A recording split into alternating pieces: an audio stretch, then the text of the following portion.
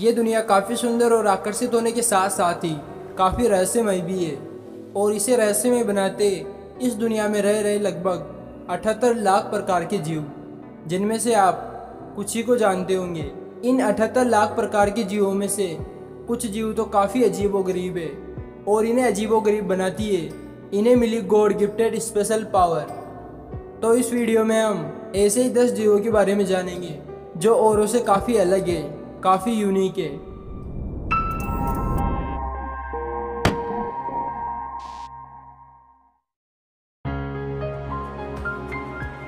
Koala, ये जानवर दिखने में काफ़ी सुंदर है। साथ ही ये काफ़ी आलसी भी है। जी हाँ आपने बिल्कुल सही सुना। ये इतने आलसी है कि दिन के लगभग 21 से 22 घंटे ये सोकर गुजार देते हैं। और बचे लगभग दो ढाई घंटे उस समय को ये पेड़ों की पत्तियाँ खाने में गुजारते। कोआला अपनी अधिकतर ज़िंदगी पेड़ों पर रहकर गुजारते और साथ ही इंसानों के फिंगरप्रिंट किसी अन्य जानवरों से सबसे ज़्यादा मिलते हैं तो वह है कोआला कोआला के फिंगरप्रिंट इंसानों से काफ़ी मिलते जुलते हैं, इसलिए ये जानवर काफ़ी स्पेशल है।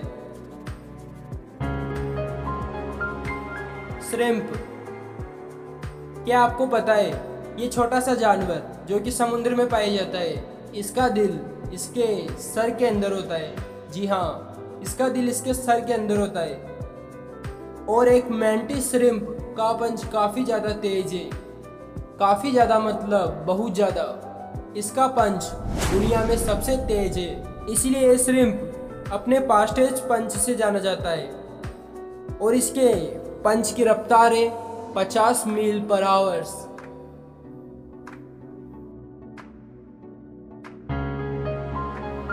स्नेल। स्नेल एक बहुत ही धीमा जीव है, लेकिन क्या आपको पता है, इसके कान नहीं होते। इससे भी ज़्यादा चौंकाने वाली बात, एक स्नेल तीन सालों तक लगातार सो सकता है। आपने बिल्कुल सही सुना, एक स्नेल तीन सालों तक लगातार सो सकता है। स्नेल दिखने में तो काफ़ी छोटा जीव है, लेकिन स्नेल की अफ्रीकन जाइंट स्नेल प्रजाति सबसे बड़े स्नेल के लिए जानी जाती है। इस प्रजाति का स्नेल एक किलो तक का हो सकता है। और क्या आपको ये पता है, जो स्नेल के ऊपर जो कवच होता है, उस पर बाल भी हो सकते हैं। कुछ स्नेल के सेल के ऊपर बाल भी होते हैं, जिसे हैरी सेल कहा जाता है। ऑक्टोपस आपको ये जानकर आश्चर्य होगा कि एक ऑक्टोपस में तीन दिल होते मतलब तीन हार्ट होते। इसका मतलब ये नहीं कि एक हार्ट फेल हो गया या खराब हो गया तो वह ज़िंदा रह सकेगा। नहीं, तीनों एक साथ काम करते हैं, लेकिन तीन हार्ट होते हैं अमेजिंग एक ऑक्टोपस के आठ भुजाएँ होती है। खैर, ये सब तो आपको पता है, लेकिन क्या आपको पता है ऑक्टोपस अपनी भुजा से किसी भी चीज़ को टेस्ट कर सकता है। मतलब जैसे हम अपनी जीप से भोजन का स्वाद पता करते हैं वैसे ही अपनी भुजा को अपने शिकार से छूकर उसका टेस्ट पता करता है। और ऐसे ही एक बटरफ्लाई भी अपने पैरों को फूल पर रखकर फूलों का स्वाद लेती है।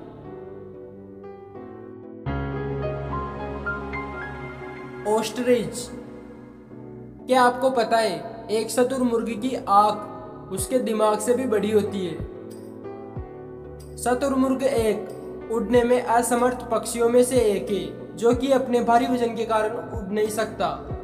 लेकिन खैर ये पक्षियों की श्रेणी में आता है, इसलिए आपको ये जानकर आश्चर्य होगा कि जो इस दुनिया में दो पैरों वाले जीव हुए, उनमें सबसे तेज भागने का रिकॉर्ड ऑस्ट्रिच के नाम है। जी हाँ ये दो पैरों वाले जानवरों में से सबसे तेज भाग सकता है। इसकी रफ्तार है एक घंटे में 60 किलोमीटर।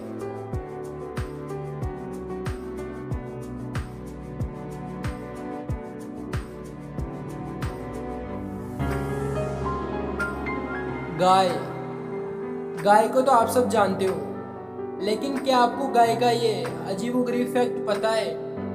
अगर हम गाय का दूध निकालते समय उसे गाना सुनाए तो वह बिना गाना सुनने की तुलना में ज़्यादा दूध देगी। जी हाँ इसीलिए जब आप कभी गाय से दूध निकालें तो उसकी कानों पर एक हेडफोन ज़रूर लगा देना। और यही नहीं, एक स्वस्थ गाय अपने जीवन में लगभग दो लाख गिलास दूध प्रोड्यूस कर सकती है।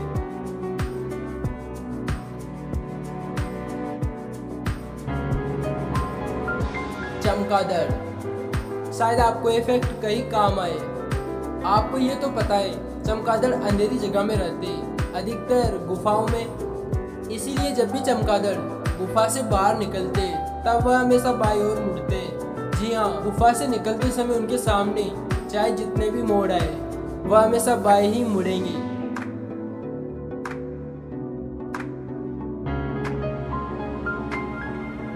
मकड़ी। मकड़ी को तो आप सब जानते होंगे, क्योंकि ये मकड़ी दुनिया में हर जगह पाई जाती है। लेकिन क्या आपने कभी ध्यान दिया, एक मकड़ी के कितनी आँखें होती है? कभी समय मिले तो गिनना, एक मकड़ी के छः से आठ आँखें हो सकती है। मतलब एक मकड़ी के छः या फिर आठ आँखें होती है। और एक मकड़ी का जाला बहुत ही ज़्यादा मज़बूत होता है। अगर उस मकड़ी के जाले को इकट्ठा करके उसका घनत्व काफ़ी बढ़ा दिया जाए, उतना घनत्व की जितना एक स्टील का होता है। तब मकड़ी का जाला। स्टील से कई गुना ज़्यादा मज़बूत होगा।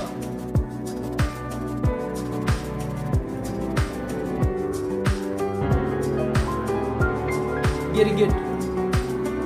गिरगिट एक रंग बदलने वाला जीव है, जो अपने आसपास के वातावरण के अनुकूल अपना रंग बदल लेता है। ये तो ही नॉर्मल बात, जो कि सबको पता होती है। लेकिन गिरगिट के पास एक और स्पेशल चीज़ होती है, वह है इसकी आँखें। इसकी आँखें 360 डिग्री एंगल देख सकती है। मतलब ही बिना अपनी गर्दन को मोड़े, अपनी आँखों को चारों ओर घुमाकर, ये एक पोजीशन में ही 360 डिग्री एंगल पर देख सकता है। मतलब ये चारों ओर देख सकता है, बिना किसी तरफ़ मुड़े। बतख। बतख एक जलीय जीव है, लेकिन ये पक्षियों की श्रेणी में आती है। अगर आपको कोई पूछे कि क्या बतख उड़ सकती है तो आपका जवाब क्या होगा? ईमानदारी से कमेंट बॉक्स में बताइएगा। तो इसका आंसर है हाँ। बतख उड़ सकती है। मतलब बतख की कुछ प्रजाति उड़ सकती है। बतख में एक और स्पेशल पावर है, जो इसे औरों से अलग बनाती है। वह है इसके पंख। इसके जो पंख है, वो वाटरप्रूफ होते हैं। मतलब ये पानी के अंदर रहने के बावजूद गीले नहीं होते। इसीलिए पक्षी होने के बावजूद भी लगातार पानी में रहने पर भी इसके पंख खराब नहीं होते। इन दस क्रिएचर में से आपको कौन सा क्रिएचर सबसे अच्छा लगा? कमेंट करके बताइएगा।